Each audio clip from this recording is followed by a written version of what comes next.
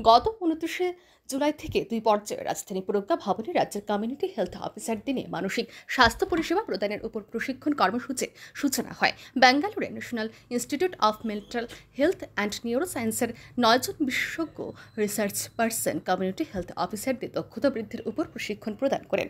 প্রশিক্ষণ প্রদানে জাতীয় মানসিক স্বাস্থ্য কার্যক্রম, জাতীয় স্বাস্থ্য মিশন, স্বাস্থ্য ও পরিবার কল্যাণ দপ্তরের আধিকারিকরাও উপস্থিত ছিলেন। উনত্রিশে জুলাই থেকে ত্রিশে জুলাই এবং পয়লা আগস্ট থেকে দোসরা আগস্ট দুই পর্যায়ে মোট চার দিন এই প্রশিক্ষণ শিবির চলে। শুক্রবার ছিল এর সমাপ্তি অনুষ্ঠান।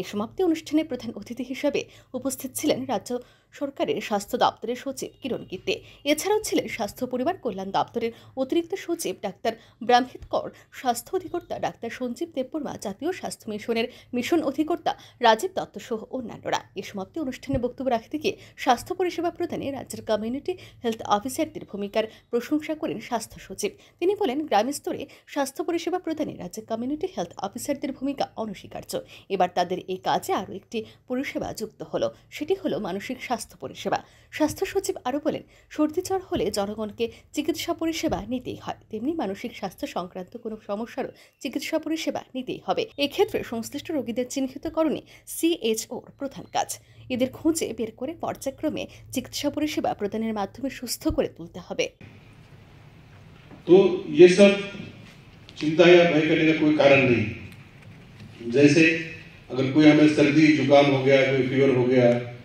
ब्लड प्रेशर हो गया तो हम लोग ट्रीटमेंट लेते ही हैं। मतलब ट्रीटमेंट लेना ही पड़ता है। दूसरा कोई उपाय नहीं है।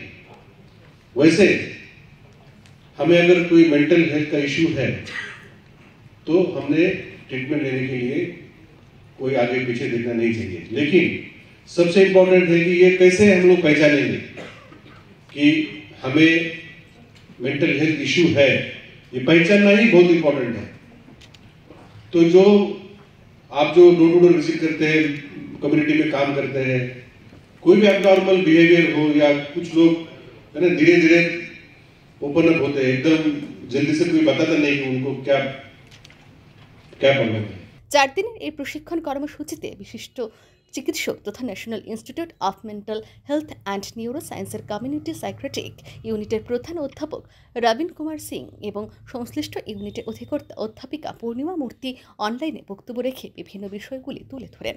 ব্যুরো রিপোর্ট আর নিউজ